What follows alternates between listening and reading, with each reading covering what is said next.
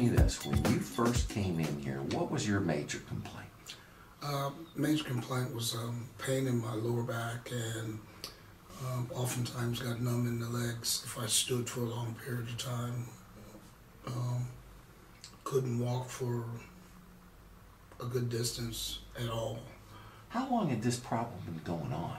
Um, I, I'd say it's been happening now for probably maybe six, seven years or something like that. It's been an extended time. You know, I began by going to see um, doctors about it, and they were giving me shots in the back and that type of thing. And finally, they opted that since these didn't really help for any long period of time, they started talking about surgery, and I wasn't interested in that. Everybody I have known to have back surgery have had to be told that they may have to have another one, you know, and that type of thing.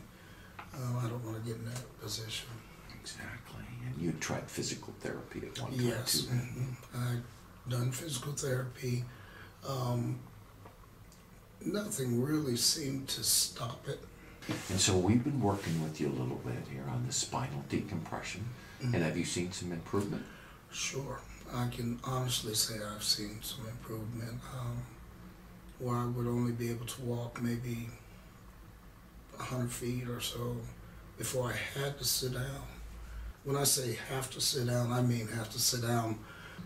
If I walked a couple hundred feet and I said, man, my, I couldn't feel my feet, you know, my back was sore, and I had to sit right down right then. And you're back to ushering at church? Yep, back to ushering um, and able to stand still. I'm actually um, able to stand, walk, do things that I was having a lot of difficulty doing before.